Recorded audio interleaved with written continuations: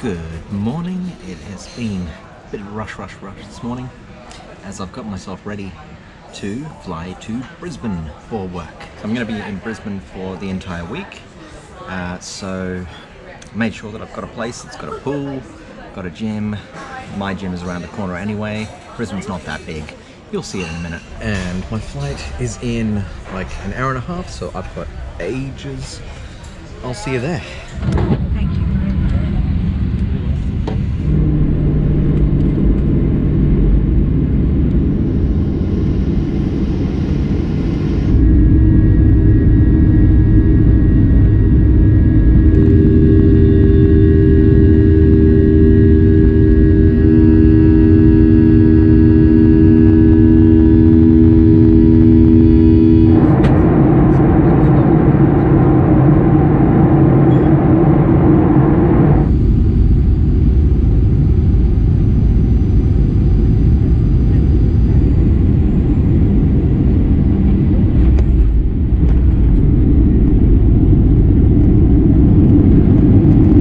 Just a reminder, your mobile device must be off whilst you cross the calendar.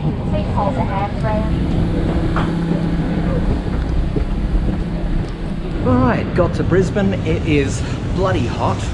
It's like 33, 34 degrees, but feels like 38 because of the humidity. Because I'm here for an entire week, decided to book a car. So we're covered by work and everything, so that's fine. But yeah, so it'll be first time driving in Queensland ever. Not that it's too different to New South Wales.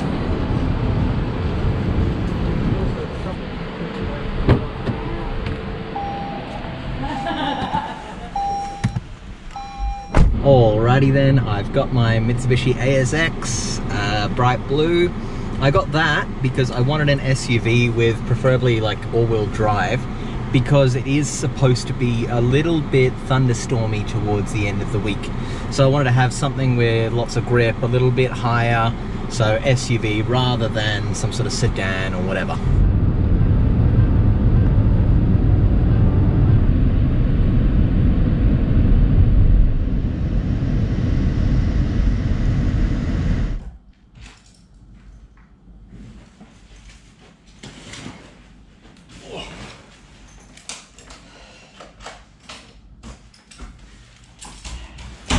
I made it.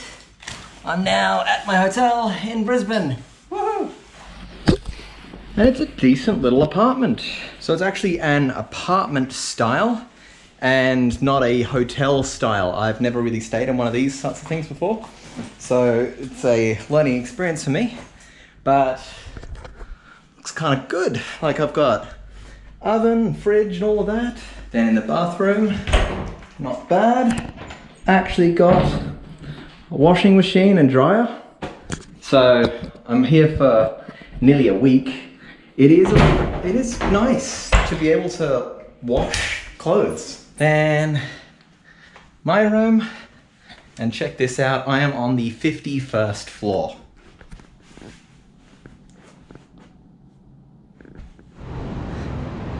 But damn.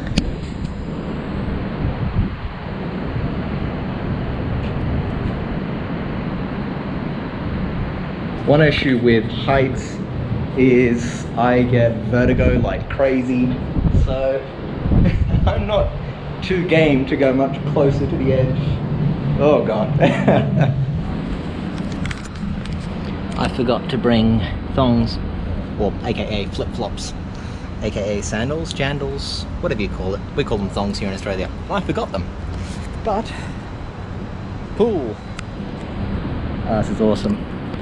Oh, and yes, still got a broken toe.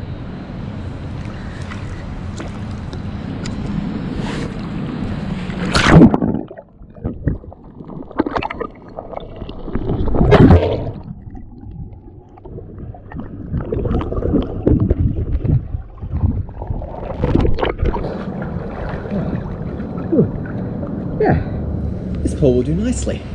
It's actually a decent length, so I can do a few laps.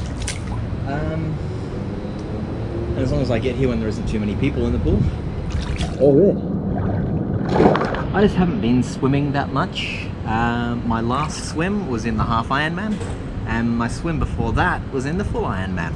So yeah, I've done some decent lengths for my last couple of swims, but I just don't go swimming that often. I really need to get back into it, so this pool, great little pool, nice little length. Um, I'll be able to do a few laps while I'm here, which is great. And this can also help, um, since I've got my broken toe, I've still got about a week until the four weeks initial period is up. Uh, before then I can be approved for running. But one of the recommendations with having a broken toe is to do other exercises such as swimming. Swimming is one of those recommended additional exercises. And talking about broken toe, how's my broken toe going? Well, it's still broken.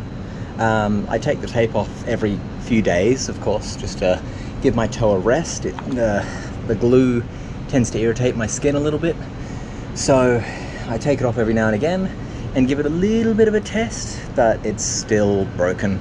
Like I try and bend it and there's just immense pain. So yeah, it's broken.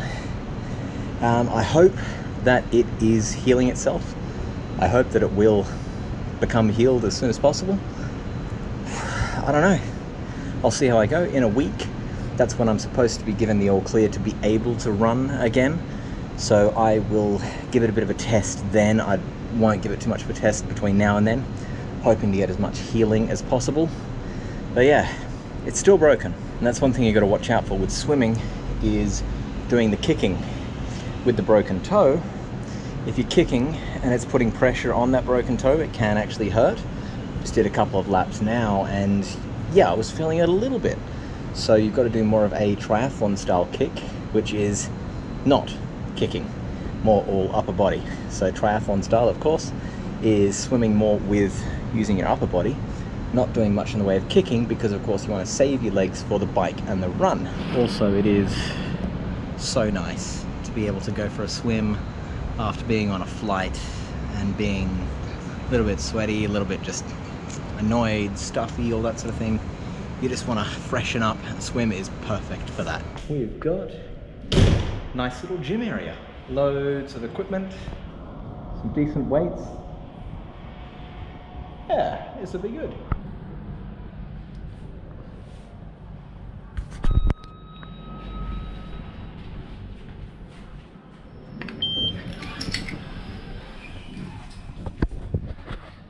As I mentioned in my previous video, uh, with the gym, with a broken toe, of course, you've got to just do exercises that don't aggravate the broken toe. So I'll be using the rowing machine, maybe the elliptical machine. I probably won't be doing any running. And I might be doing some of the weights. Also, core ab exercises. They are great as well. All right, well, that about does it for me today. I'm gonna head out and get something to eat now. Uh, maybe a drink. Thanks for watching. If you want more swim, bike, ride and exercise content every week from here in Australia, then hit that like and subscribe button. And I will see you in the next one. Cheerio.